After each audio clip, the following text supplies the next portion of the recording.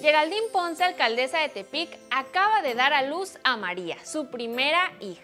Esta tarde, la alcaldesa de Tepic, capital de Nayarit, dio a conocer a sus seguidores que se ha convertido en mamá de una bella bebé con el nacimiento de María.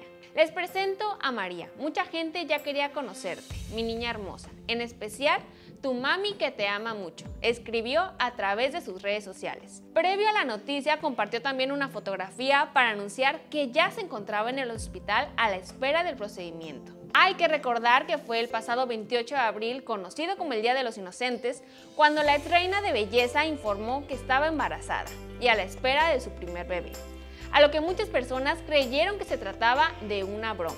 Sin embargo, la noticia se confirmó con el pasar de los días al crecer el vientre de la joven presidenta municipal quien incluso estuvo presente recientemente en la concentración por el 85 aniversario de la expropiación petrolera convocada por el presidente López Obrador. Felicidades a la nueva mamá.